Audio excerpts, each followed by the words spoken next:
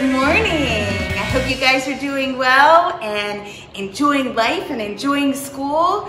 And we want to let you know that we miss you so much, but we are glad to be here in the sanctuary doing the children's chat. And I've brought some friends with me today, Allison and Ashley. You may have seen them before uh, on our children's chat. They did such a great job, I thought I would invite them back again. And by the way, if you're interested in participating in the children's chat to be on YouTube with us, just let me know. I'd love to have you come and visit and be a part of this process. So today, I thought I would bring some of my plants from home. I don't know if you guys know this about me, but I love to work in the garden. Did you know that? You didn't? Yeah, so I like to grow things, and my favorite thing to grow um, are orchids. And so I brought one here today, and I wanted to show it to you. This I just replanted. Whoop! See, and the bark is already falling out.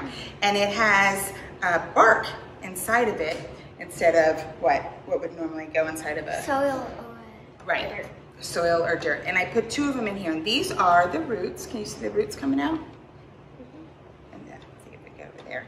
Yeah, so what normally comes out of an orchid, do you know? What grows out of it? Uh, that makes it pretty? Flowers. A flower. Does this one have a flower on it? No.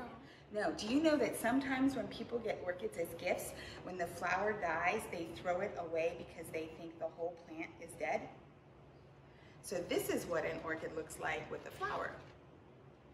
See how pretty the flower is? They look like little angels. Yeah, and this is a specific type of orchid. There's all different types, right? Just like there's different types of dogs. So anyway, sometimes when the flower dies, people throw them away because they don't realize that they're still alive. That's kind of unfortunate, right? Yeah. Uh, so there's an orchid. And, oh, I brought this one. This one is called a bromeliad. And it also gets like, uh, almost like a flower. Some of them have flowers and some of them just have leaves that turn different colors. And it doesn't have roots the same way a regular plant does. It kind of lives on the surface of the ground. And then once it has its flower, this one will die, but it makes other ones that come off, like offshoots. And that's how it'll keep on growing and thriving. So when you water this kind of plant, you don't pour the water in the roots you pour it inside of the leaves like this. Kind of like a funnel. Yeah, and it stays in there and that's how it gets its water and its nutrients. Like a cup. And now I brought another one that's similar to that. This is a, do you guys know what this is? Air plant.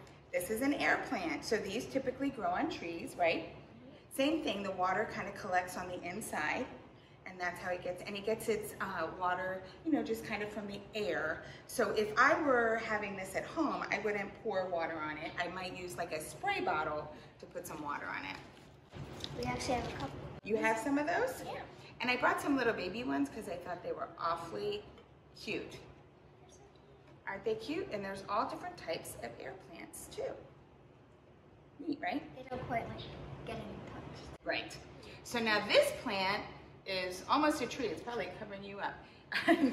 so this actually grows in what? Rocks. That has rocks on top, but what do you think's underneath? Dirt.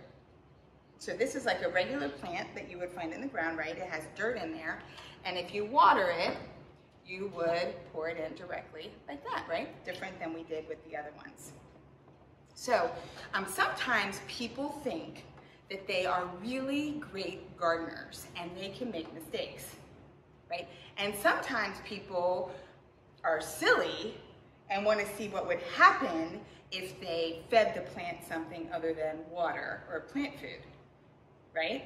So what do you think would happen if you fed the plant Coke or Diet Coke? It might turn a different color or it might die. That's right. It could turn a different color perhaps certainly like uh, fade to yellow, then to brown, and then to not being alive anymore, right? I did one with coffee and it, it surprisingly well. It grew better than the one with water. Wow, that's crazy. But did you start off thinking that that was going to happen? Kind of? Oh, okay. What if I poured salt in the water before I watered the plants? What do you think would happen? It might actually kill it. It might actually kill it, unless it was a plant that was supposed to live by the salt water, right? That's a little different. Yeah, so sometimes people make mistakes, just honest mistakes. Sometimes they make mistakes on purpose. And mistake on purpose is a sin. We know that, right? And sometimes people are just overconfident in their gardening skills or in any skills that they have. And being overconfident could lead to trouble, don't you think? Yeah. Have you ever been in trouble because you've been overconfident? Yeah? Yeah. Like, is there something you thought you could do by yourself but you couldn't really do by yourself? Move a really heavy box and end up dropping it and some things broke. Ooh, and some things broke. Yeah. You know, that happened to me last week. When I was trying to lift a really heavy pumpkin, did you guys see me on the children's chat doing that? Yes. Yes. And do you know what happened to? Me? You got stuck. I got stuck with a giant 130 pound pumpkin in my lap because I thought I could do it all by myself, right? That's right. So, do you think it's good to have confidence in yourself?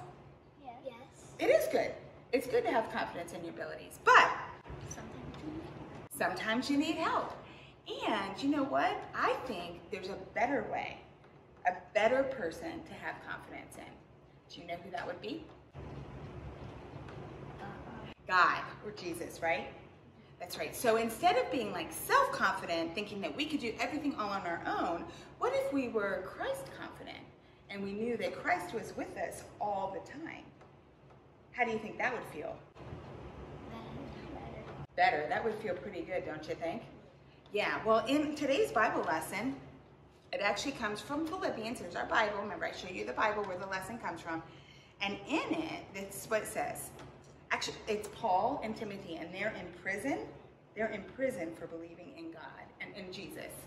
And they're writing to other people, trying to encourage them while they're in prison. And this is what it says it says, And I am certain that God, who began the work within you, will continue his work until it's finally finished on the day when Christ Jesus returns.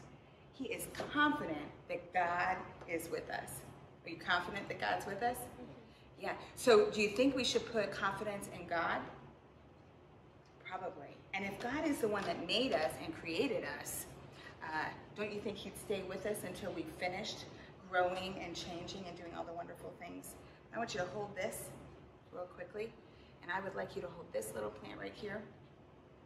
And I'm going to ask you a question. I want you to be totally honest. Would you feel better if you were this little plant and you were in your sister's hands, or if you were in God's hands? You? God's God's hands, yeah. Because you know she feeds coffee to plants, yeah. and she may say it thrived, but I'm not sure in the long haul it really would have, right? yeah, It's It- that's good. Sometimes things work out, right? But let me tell you this: if you're in God's hands, things might still go wrong, right, in your life because we're human and we make mistakes and, and all of those things.